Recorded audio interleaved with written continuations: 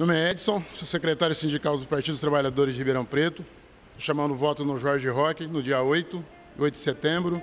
E vamos fortalecer o partido. A lutas, companheiros.